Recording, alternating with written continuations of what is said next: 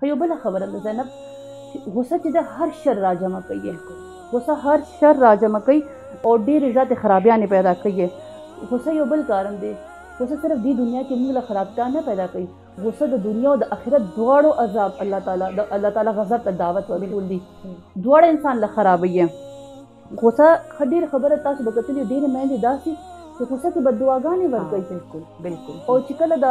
هغې مور وایي جوړه زه مور یم او زه دا هسې لګیا یم او زه دا هسې خبرې کوم او چې کله دا بددعا پوره شي د اولاد په حق کې نو هماغه میندې چې بیا جاړي ځکه خو د الله رسول صلی الله علیه وسلم ویلي دي چې یاره چې تاسو کله د خپل مبارک دعا کوئ نو د خیر دعا کوئ یا د خپل کور والو دعا کوئ نو خیر دعا کوئ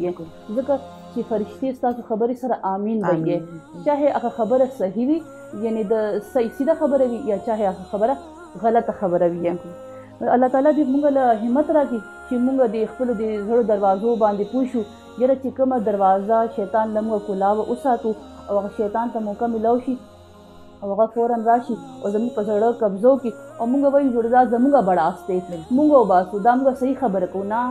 با موږ نه یو موږ پسې شاته شیطان دی او هغه موږ بالکل د ریموټ کنټرول په شانتي کنټرول کوي